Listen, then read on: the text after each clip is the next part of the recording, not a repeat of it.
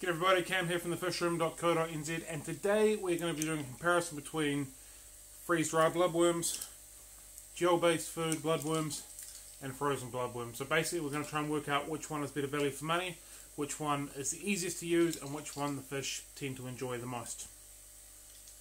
Let's check it out.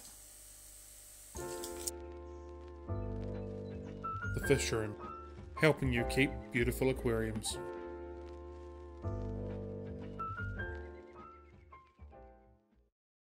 Alright, so first off the bat, let's go with some of the pros and cons of Yield Frozen Bloodworm. Uh, for me, a pro of this is it's very easy. Pretty much every single pet shop, pretty much every single fish shop sell this stuff. It's generally in the freezer. You walk in, you grab a couple of trays, you walk out, you chuck in your freezer and you're done. It's nice and simple. I don't want to say it'll last indefinitely, but it will definitely last a good period of time while it's in the freezer. I've had this pack, I know, for well over a year, and it still hasn't pierced for obvious reasons, but it looks absolutely fine. So it lasts pretty well. There's no expiry date on it. As long as it stays frozen, you're good to go.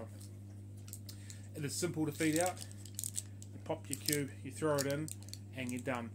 Or you can uh, defrost it in a cup of water first, put the tip the cup of water in, something like that as well.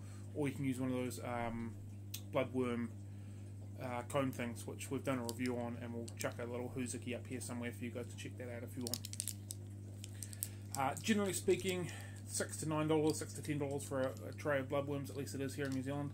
Um, sometimes you can pick them up on special, three for twenty bucks or something like that, which is you know pretty good value. They're normally about 100 grams, so 200 grams of food for sorry 300 grams of food for 20 bucks is pretty good. Some of the cons, if you leave it out of the freezer, it gets defrosted and gets mushy.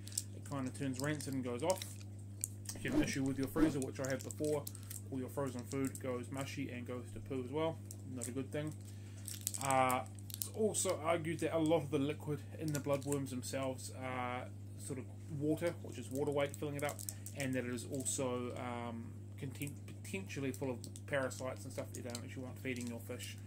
I don't know if there's any evidence on that, if it's just uh, you know aquarium myths or what have you, but that is some definitely some of the cons potentially for feeding out frozen bloodworms. Next one we're looking at is the gel food. Uh, personally, I quite like the gel food. I think they're very convenient. Uh, like I said, you can get them in a.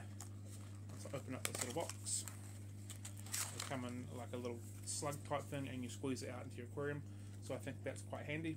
Obviously, they've got a um, an expiry date on them as well, unlike the frozen stuff, like I said, so you've kind of got to use them within that time. And this particular brand brings them out in 48 gram containers. I think they are a little bit pricey for what you're getting, uh, about 15 bucks or something like that for 48 grams, which is right up there. Um, you know, it's nearly double the price of um, your frozen stuff and that kind of thing. I think they're very convenient. Like if you go away on a holiday or go away for a couple of days, you've got something to feed your fish can you please just use one of these containers or one of these little satchels? And it's that simple it's nice and easy they're not messy. You literally rip it open you squeeze it out you throw it in the bin. It's simple there's no mess there's no fuss. I think they're definitely positives of the gel foods here. Um, something I don't so much like about them if I can find the ingredients list is there is other stuff inside of it. So we've got uh, bloodworms here and it says the composition is insects with red mosquito larvae, which is 30%. So if this is a freeze, uh, sorry, a gel product of bloodworms, it's only 30% bloodworms. Not such a good thing. The freeze-dried stuff is 100%.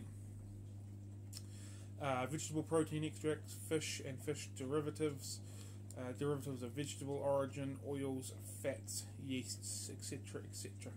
So it's very much like a wet version of a pellet food type of thing. So I think that's a bit of a downside if you, I think if you're buying bloodworms, you kind of want to be buying bloodworms. And saying that, I think there's a lot of positives for these particular products compared to some of the negatives. So uh, yeah, that's that's my kind of take on the ups and downs of the gel food. Okay, next is freeze dried bloodworms. I'm obviously doing this video on bloodworms. Um, but things like Daphnia and Mysis shrimp stuff like that also come frozen, freeze dried, freeze dried, and in gel form. So I guess this is all kind of comparative to that as well. Uh, but with the freeze dried stuff, some of the pros for it is it is it is dry product, so you're paying for exactly what you're getting. You're not paying for water weight at the same time. So this container is nine grams, so you are getting nine grams of frozen bloodworms, and believe you me, this small container goes a very very long way. I think it's really good because you can sort of mix it into other foods. If you're one of these people that make up their own gel food or um, frozen food themselves, you can put this into it quite easily. If you want to mix some flakes and some pellets together, you can put this in as well. So everything's getting a decent mixture of everything. So I definitely think that is a positive of using the freeze dried uh, treat foods, snack foods, whatever you want to call them. I do find them to be a little bit more expensive. Um, like I said, the the frozen bloodworms 100 grams are like 8 bucks or 6 bucks or whatever, and these are a lot more for 9 grams. But you are just getting the worm itself, you're not getting a water weight as well, so you've got to take that into account. I think something I don't so much like about them is that you've got to soak them in water to get them to really sink, otherwise they float. Um, that's a bit of a pain, but you know that's a little cost cost to pay. They obviously do have an expiry date on them compared to the frozen stuff, um, so that's another Debbie Downer on that as well. Uh, but yeah, overall, freeze dried stuff is pretty good, and there's a big range of it as well. It's sort of um, yeah, it's quite the range of a product. It's not just you're going to find your frozen bloodworms, uh, bloodworms, brine shrimp, and like mysis shrimp, for example. There's a lot of other things you can pick up freeze dried, tubifex worm and stuff like that. At least over here in New Zealand, a lot of the frozen foods aren't so readily available, so to be able to pick them up and freeze dried is really, really handy as well.